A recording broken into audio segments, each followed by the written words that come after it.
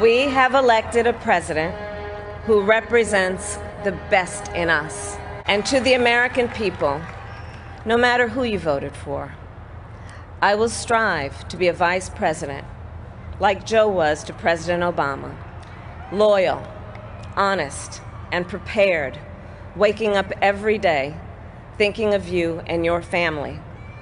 Because now is when the real work begins the hard work the necessary work, the good work, the essential work to save lives and beat this epidemic, to rebuild our economy so it works for working people, to root out systemic racism in our justice system and society, to combat the climate crisis, to unite our country and heal the soul of our nation.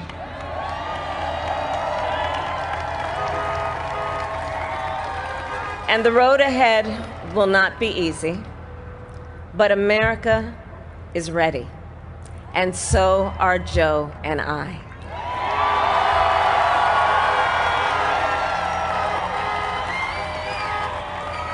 We have elected a president who represents the best in us, a leader the world will respect and our children will look up to a commander in chief who will respect our troops and keep our country safe, and a president for all Americans.